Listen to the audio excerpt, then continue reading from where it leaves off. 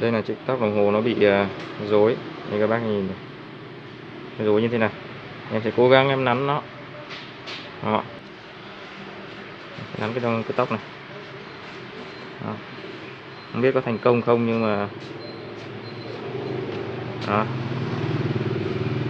Đó. Sẽ nắn nó. Sáng sớm chắc là chưa ăn sáng hay sao mà run tay lắm các bạn em sẽ nắm trực tiếp luôn trong trong tóc nhé. Không không không tháo tóc đâu. Nắm trực tiếp luôn. Đấy, nắn tóc là cái, cái, cái yêu cầu đòi hỏi kỹ thuật rất là cao rất là tỉ mỉ và kiên trì. Đó. Và cái này tốt nhất các bác nên nắn buổi trưa nhé. Đây em nắn buổi sáng sớm này. Bây giờ mới có 7 7 giờ sáng sáng. Đó. Nên nắn nắn buổi sáng này cũng không chuẩn. Thứ nhất là mình ăn sáng chưa ăn sáng. Thứ hai nữa là ánh sáng của nó chưa đảm bảo. Đó. Đây, mình sẽ nắn một tí một. Đó em duỗi ra, ra rồi. Bây giờ em phải duỗi ra duỗi hết ra các bác.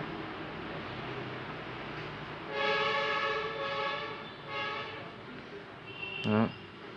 duỗi hết tóc ra. Đó, rồi bây giờ mình sẽ nắn một tí một vào đó này các bác thấy nó nó nó nó, nó hơi bị ờ, rối dài đúng không? Đó. Nên nắn trực tiếp trong này rất là khó đúng không ạ? À, nếu mà bác nào không quen thì các bác có thể ờ, tháo rời cái tóc này ra để mà nắn nhé. À, em có video thêm tháo rời tóc tóc này ra rồi đấy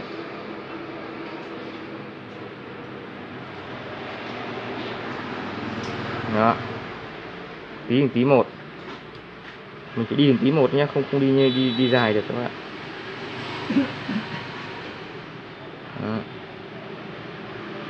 tí một thôi. Đó. Nó vào được tí rồi đúng không? Đó. cứ đi tí một tí một. Rất là mất thời gian, thậm chí hàng tiếng rồi các bác ạ.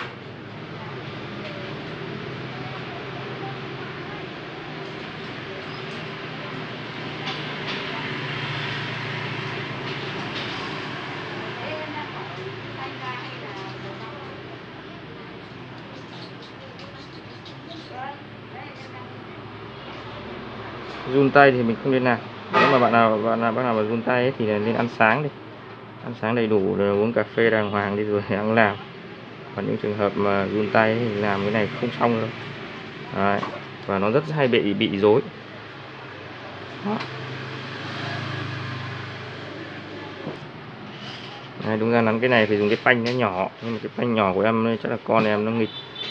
Đấy, biết là để đâu ấy phanh siêu nhỏ đấy chuyên làm tóc ấy. Em dùng cái phanh rất là to các bác thấy. À, nên là gấp cái, những cái, cái sợi tóc này rất là khó. À, nên là mình nên dùng cái phanh siêu nhỏ nhé. Cái đầu nhỏ này của nó này thì mình nắn nó mới chuẩn được mà mình gấp cũng mới chuẩn được. Đó.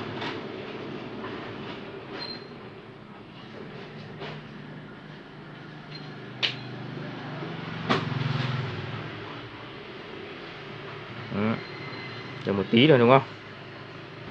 Đấy, bây giờ em ờ, nắm xong rồi em sẽ nắm tiếp nốt nốt Đó.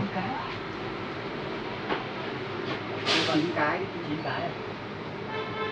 bốn chín ba sáu ba năm nhé Đó. Đó, bây giờ mình sẽ cố gắng nắn vào cho chuẩn các bác nên để vào tay này. Đấy, ấn vào cái, ờ, cái ngón tay của mình ấy, thì nó nó chuẩn hơn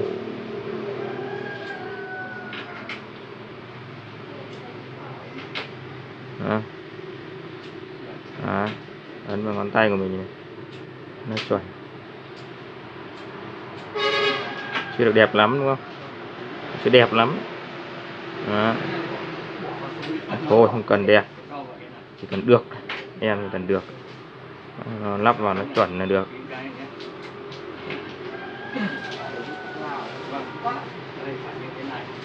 Đó.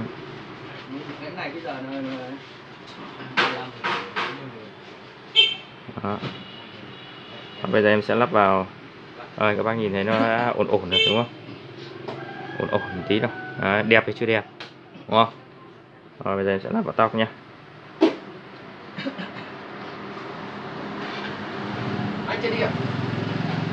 tí nữa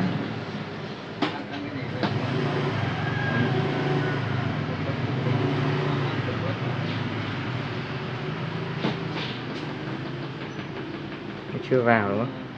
Đây, em vặn nó ra một tí. Này kể cả vặn cái này các bác cũng phải dùng cái tô vít nhỏ nhá. Đây tô vít nhỏ em cũng bị con em nó lấy mất rồi. Nghịch mất con gái nghịch lắm các bác ạ. Đó. Ăn chưa? Đấy. ăn nhà rồi. Đấy, sau đó là em sẽ khóa cái sậu khóa cái tóc này Đấy, không có cái tô vít nhỏ nên là làm rất là khó. Tô vít này khá to. Rồi em sẽ uốn nắn ờ, trực tiếp trong này nữa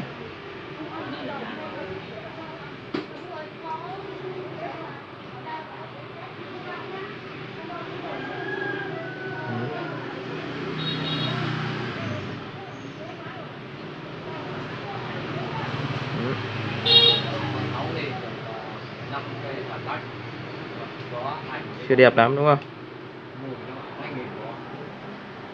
Đấy, mình sẽ phải nhìn xem là nó có sát vào nhau không.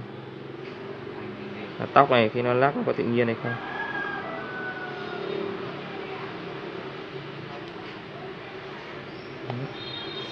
Cái này rất là tỉ mỉ. Đòi hỏi mất thời gian. À, nó chưa chưa chưa bon lắm đúng không? Đấy, các bạn nhìn thấy chưa bon lắm này. Đấy, sau khi em lấy xong em sẽ kiểm tra xem nó nó, nó lắc bon chưa. À, như này em thấy nó cũng bon bon rồi đúng không?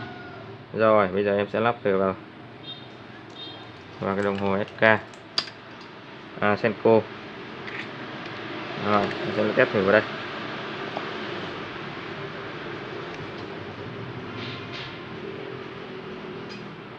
Rồi các bạn nhé.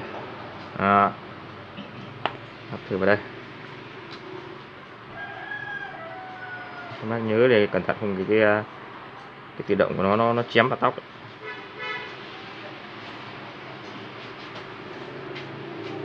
để cho cái à, cái à, tự động này nó à, cái con ngựa này nó gạt vào lòng máy. À, sau đó sẽ lắp vào đây.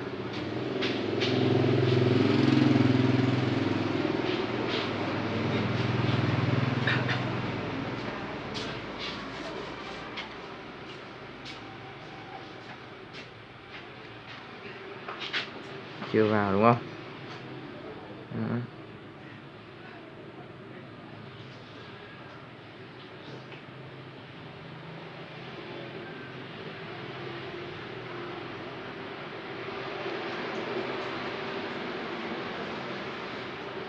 Đấy.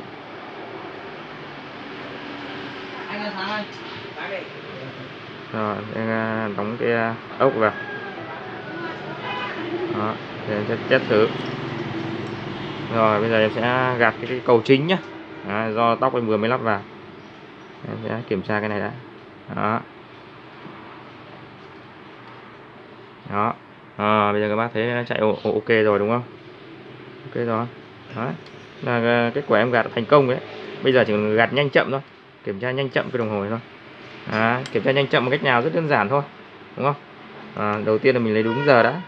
Đấy đấy, đúng giờ theo cái đồng hồ chuẩn một đồng hồ nào đấy của mình. Đây em lấy cái đồng hồ chuẩn này làm đồng hồ chuẩn. Đó. Rồi bắt đầu em sẽ ra. Kiểm tra qua đã. Đó. À, nó chưa chưa chưa chuẩn lắm. Em thấy nó chưa bon lắm.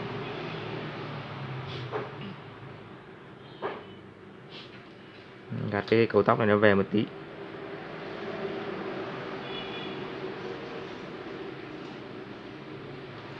Đó.